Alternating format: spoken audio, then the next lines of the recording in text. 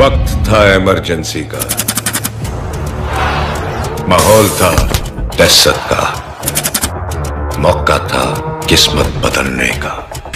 वो आर्मी थी और हम भी तो हरामी थे। चार दिन की ज़िंदगी है और आज चौथा दिन है। ये सोचकर इतने साल निकाल दिए। ऐसी कोई तिजोरी ना बड़ी जो आप खोल ना सकते। और राजस्थान का टिल्ला टिल्ला दलिया से वाकिफ है।